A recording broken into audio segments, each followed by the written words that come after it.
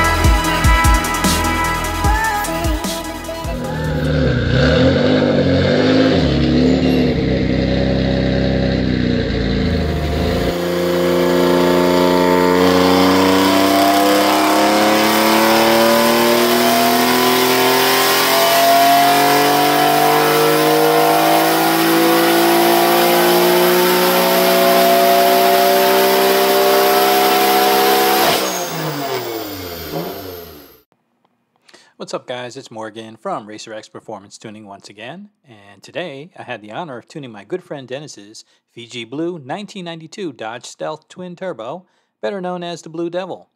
This car is run the 10 second quarter mile, and recently Denis moved from AEM over to a Haltech Elite 2500 unit.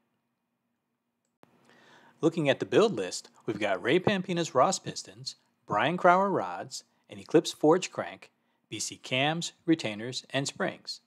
Then we've got twin Arashi 20THL turbos, dual 455 fuel pumps, Injector Dynamics 1700 injectors, R'venge Performance coil on plug system, and a Clutchmaster 8.5 twin disc. Dyno days always seem to come with some sort of curveball, and we found one challenge that uh, crept up on us pretty early on. Um, our problem was that our MAC valve was not working at all. It didn't matter how much duty cycle we sent at it, it was just not clicking. And when we tested it later on, we found out that it was pretty much dead. So we had to run today just on wastegate pressure. Uh, the good news is that our wastegate was a 20 pound spring, so at least that gave us something to start with.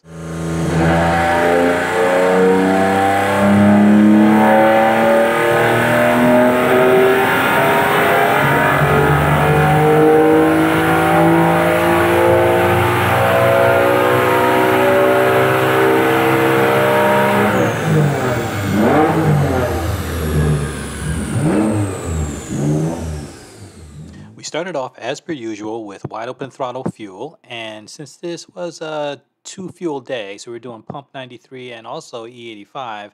The nice thing is that with Haltech being a VE based system, we pretty much just had to do fuel one time and then just let the uh, the Haltech Flex Fuel system kind of run the numbers for us and give us the types of values that we needed based on the ethanol content that was in the tank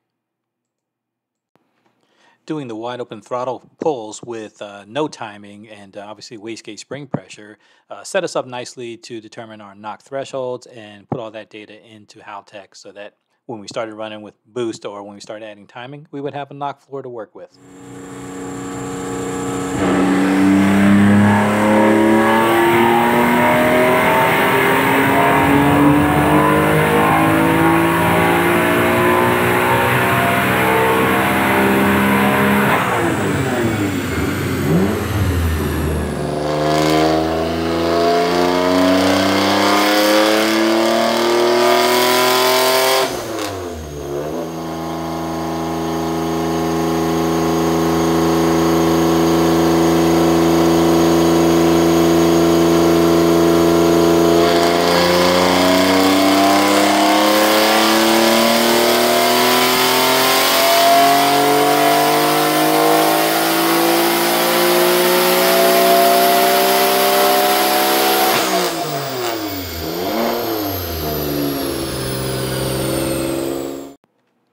By running our AFRs as lean as we safely could, and then turning our attention and maximizing our MBT advanced timing, we were able to end the day at 555 horsepower and 475 foot-pounds of torque.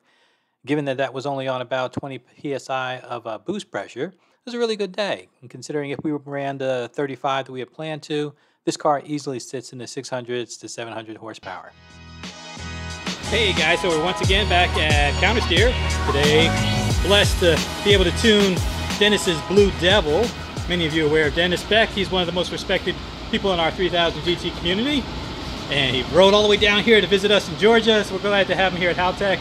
Hey Denis, how do you think about the experience today? Uh, it's been a good experience. Uh, walked me through everything we needed to do. We run into a little boost solenoid issue, but we're on a wastegate boost, and I get to drive tomorrow with these guys from Georgia yeah, we're gonna go up on the mountains and have some fun. You know, just looking at dyno chart, Bill, uh, Denis is right. You know, we ran into a you know duty cycle issue. Just our three-port boost solenoid just not playing nice with us. So pretty much ran off of wastegate pressure all day, about 20 psi. Ran, ran the timing up and worked on AFRs to try to get ourselves to a nice spot. It's pretty much we just maxed out the MBT. So we ended up at a high of 555.83 on the horsepower and 475 on torque, which is not bad at all for just running about 20 psi. So that's going to be a wrap for today. To see you guys soon next time I'm over here at Countersteer and I uh, wish everybody a great day.